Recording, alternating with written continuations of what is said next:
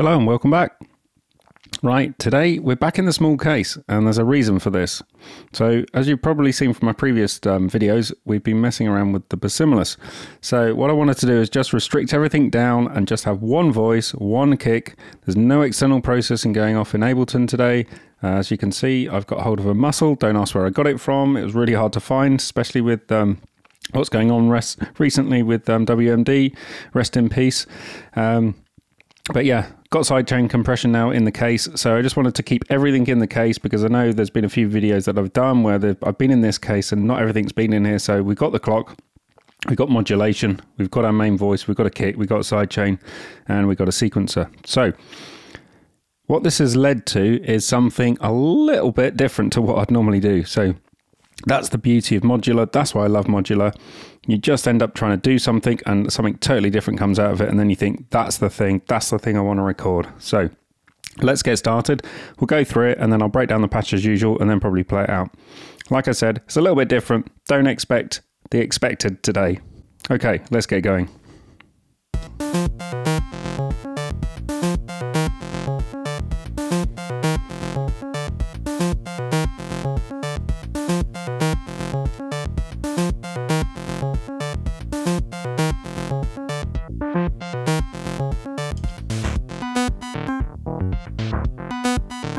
Música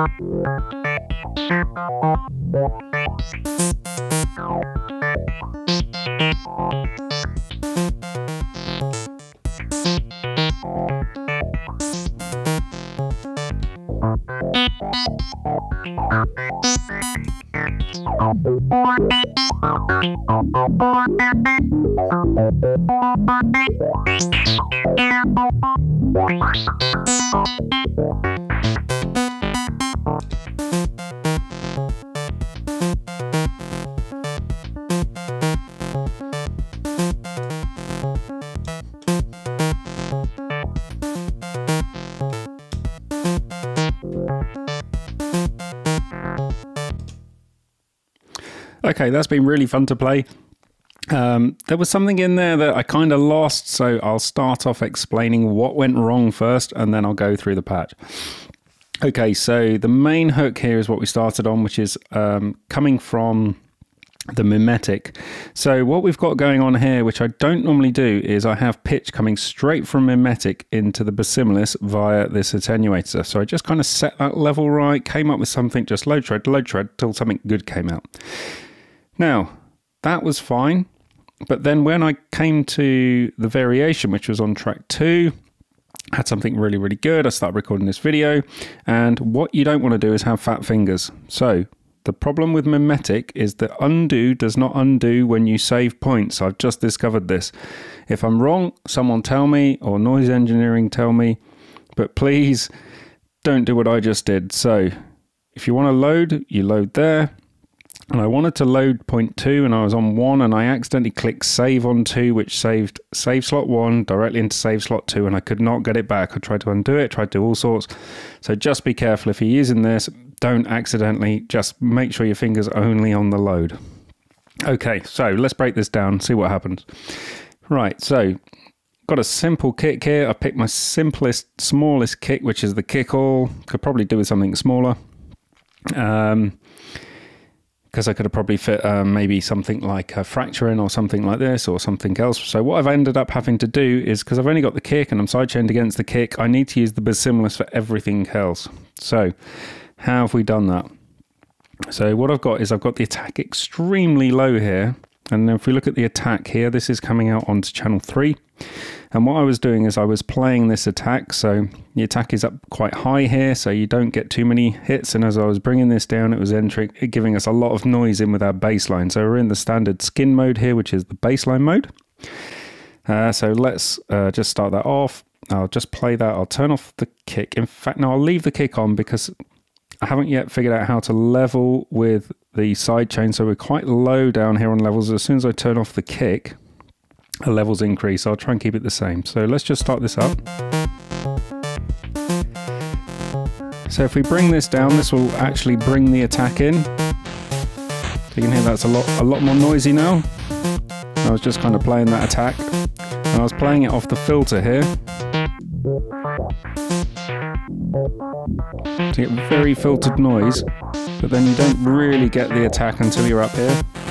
And then I was just taking some of that out. So we got a little bit of um, kind of hats coming out of the um, Basimilus here. Okay, what else is going on? So our main output A is going into the trigger of Basimilus. And I started off here with a standard seven note rhythm. Now the reason I did that was for what I came to later, which was to turn off step three. Now the reason I turned off step 3 here is if we go into this infinity symbol on the steppy, it allows you to play the steppy instead of actually adding um, triggers here, it will play what you're currently playing. So if I play step 3 here, I'll get nothing because the kick is also coming out on channel uh, B here, which the kick is on 4 on the floor, so it's just here, here, here, here. So there's the kick. So if I play anything on the kick, it will give us like a kick fill. If I play anywhere else, I'll get nothing. So if we go back to channel A here and we play C, we'll get nothing. So it's kind of using that to add a rest in. So if I play this step, and I was also, you can also do a range here, so we can do that. That'll give us a, re a rest every four, four steps. and if I were to play step one, you get a lot of kicks. Which with the side chain that I've got on is probably a bit pointless. So I was just using that for a bit of rest, which is, it just breaks things up a little bit, so that's kind of nice. Okay, what else is going on? So that's all I was doing with Steppy. I generally do use Steppy in this mode, where you can play between two points. So if you want to play between one and four here, let's just change the rhythm a little bit there. Play between one and four. Just add maybe one play two steps here. So that's got rid of the kick. So Steppy's great for that. This mode here is great, this um, infinity sign. Love it. Okay, so that's what we were doing with Steppy. Uh, we've gone through the attack. Didn't really play um, didn't really play um, 4 here, but if we look at 4 where this is going, this is going into the morph, so we can take the morph off.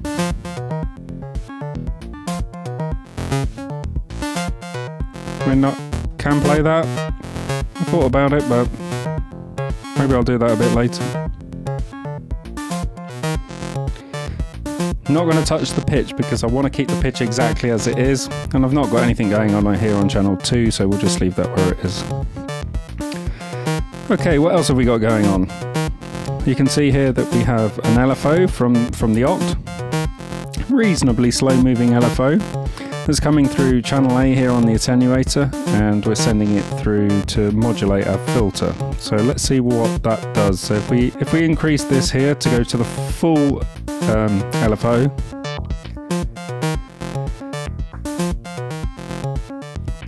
Now the reason I don't have that is because I was playing the filter and as soon as we were around about here,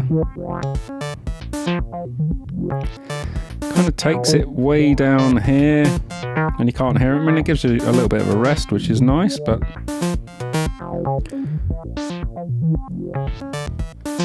And the thing with an LFO is it doesn't matter whether you positively or negatively attenuate this FM here, because the LFO is positively and negatively doing it anyway, so there's no point messing with this. This will just give us a little bit of attenuation if we move between here and here. But I like the overall control of, instead of having such a big LFO here, we can just nice little LFO. Just fade that filter in a little bit. Okay, so then everything else is coming from the mimetic pretty much.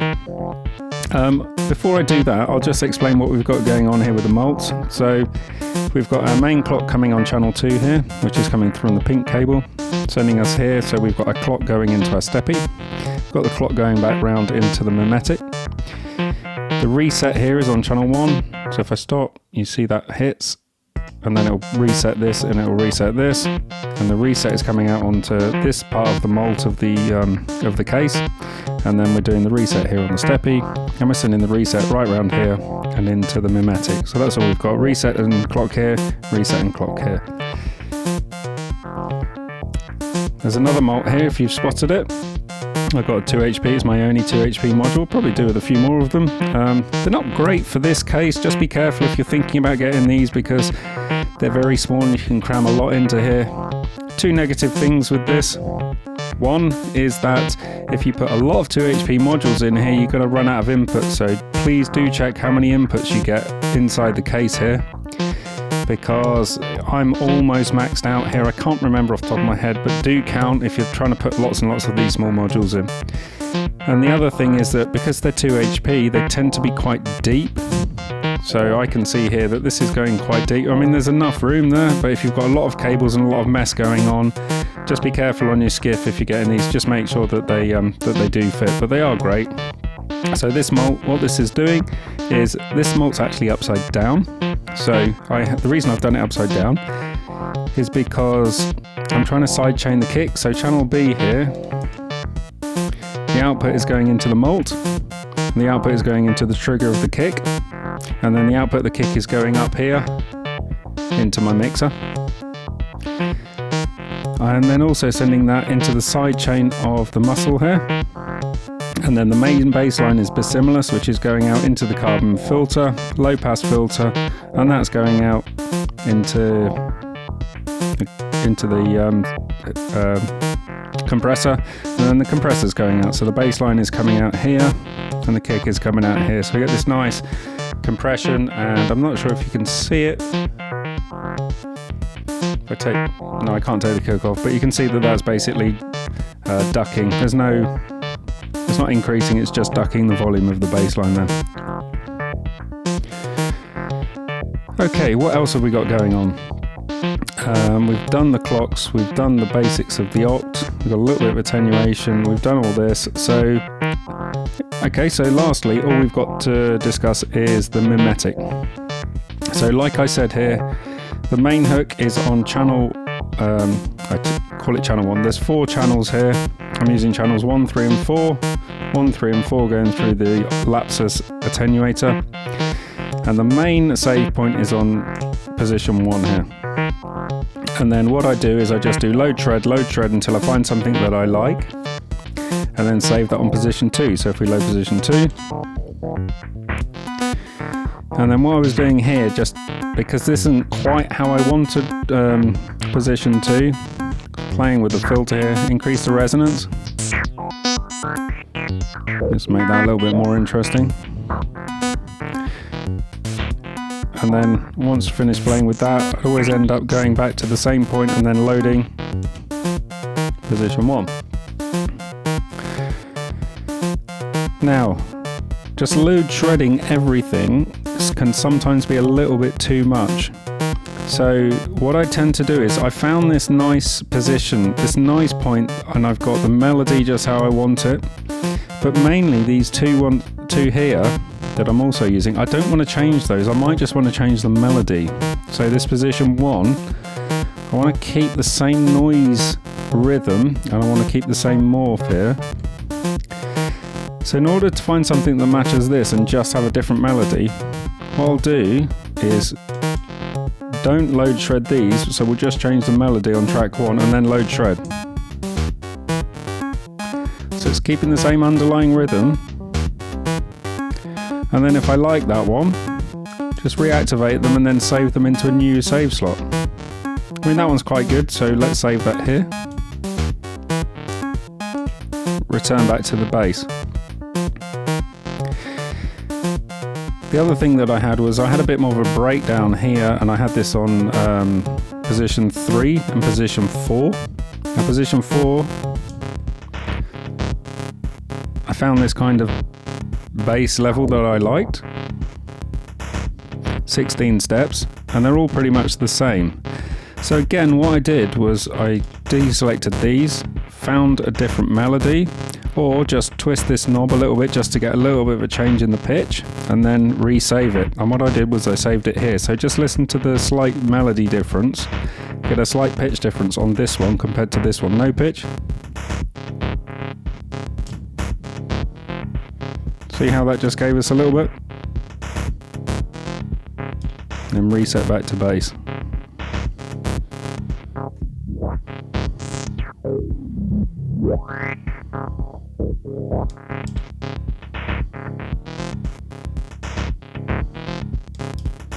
And then back to home.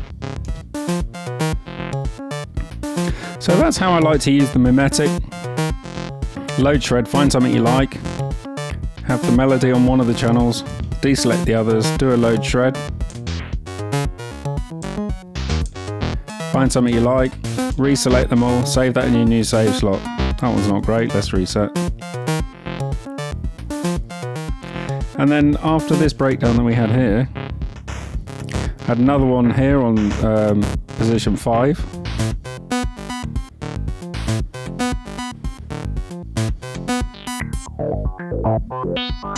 This one worked quite well by increasing the resonance.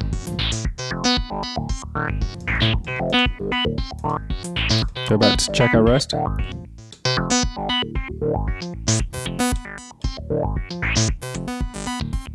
And back home.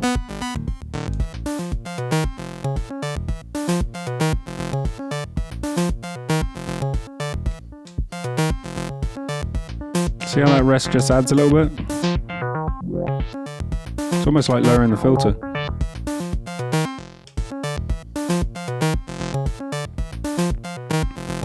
So yeah, that's it. Just wanted to show how good these small cases are and just how restricted they, they make things for you.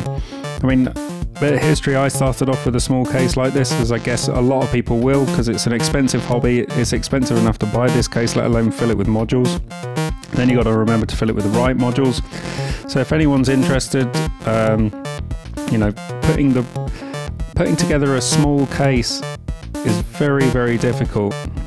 Um, so this is you know this is a you get a bass line you've got a filter with your bass line you've got a kick drum you're kind of improvising by using um, this to give us a little bit of hats you could get 2 hp hats in here as well the compressor is great because you've got sidechain compression um, got a great clock source here not only that, I mean, I'm only using this as a clock, but you've got great modulation points here as well if you want them. I just love the playability of these two modules. This is more design it yourself. I mean, you can use it as a quantizer if you want, all sorts of things. But the playability of these two together, I absolutely love. And that's why I go into modular to find the happy accidents and just come up with things like this. I mean, this kind of this kind of note sequence I would never come up with myself, but it just kind of works.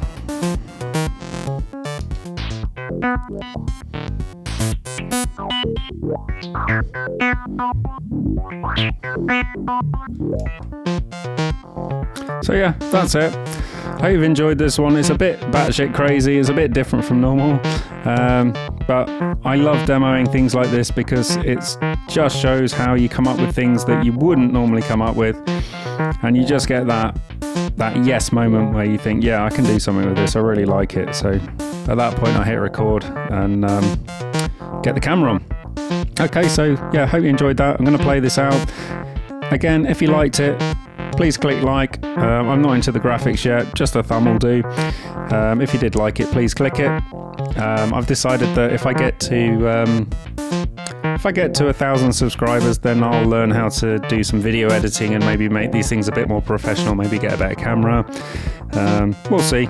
If it kicks off, it does. If it doesn't, I'm happy to just enjoy it as it is because I like making these things. So yeah, I'm just going to play this out for a bit and I'll see you in the next one.